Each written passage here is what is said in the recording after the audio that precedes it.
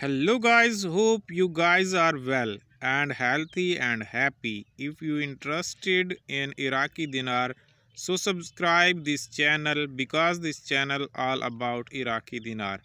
And don't forget to subscribe my channel and hit the bell icon for more latest update in Baghdad demand the government take action to stop the economical crisis.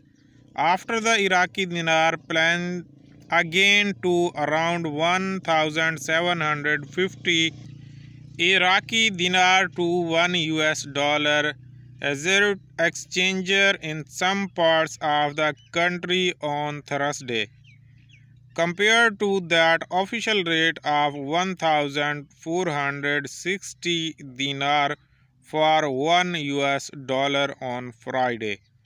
Most exchange stores in Baghdad were closed.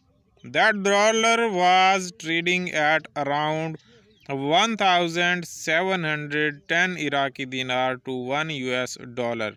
The same time we are getting the news from ABC and countless other news stations that the meeting between the US Treasury Department and the head of Central Bank of Iraq, the crisis has been avoided.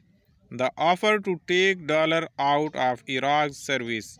Several purpose it cut Iraq off from getting dollar and it restored our economy in a Iraq that will be international. Don't worry don't worry much this will be pulled back because all markets in the other countries have prepared for acceptance of the dinar plus the countries who did currencies swaps do have strong currency in their central bank